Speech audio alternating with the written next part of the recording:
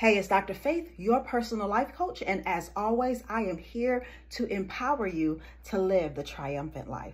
Listen, have you been frustrated lately? Doing things, trying to press against time, forcing things to happen. I want you to think about what's causing these patterns of behavior in your life where you just think you're out of time and you just have to make things happen. Sometimes we try to do things prematurely because mainly it's not even about us. What you're probably trying to do and it's not working out is because you're trying to do something to appease someone else. Sometimes we spend too much time thinking about what other people think about us. But I'm here to remind you three very important words. You are enough. Yes, you heard me, just as you are. No additives, nothing taken away, nothing added to your life. God created you just as you are for his purpose. There's a mantra that I live by each and every day. My desire is to live a life that honors God. In my home life, with my family, business, career, relationships, in my finances, and any other area of my life, once I live a life that honors God, it saturates and permeates each and every other area.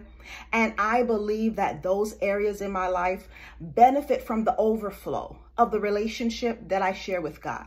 Every day I want to please God. God, what did you create me to do? I want to make sure that I'm bringing glory and honor to you. When I'm speaking, God, I want to make sure that it's a topic that you gave to me.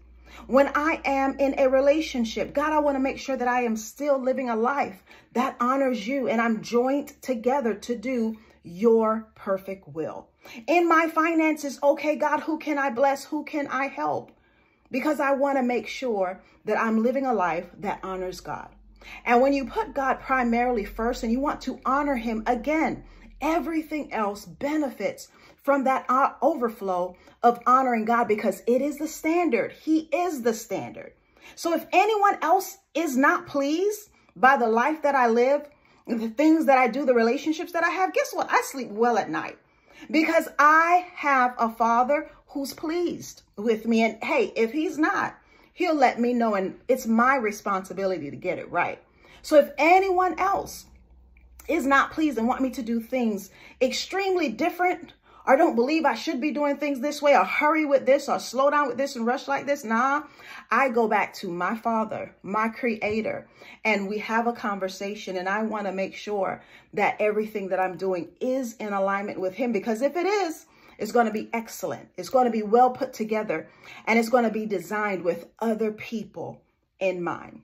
So I want you to spend more time living a life that honors God living a life that brings you joy, love, happiness, and peace.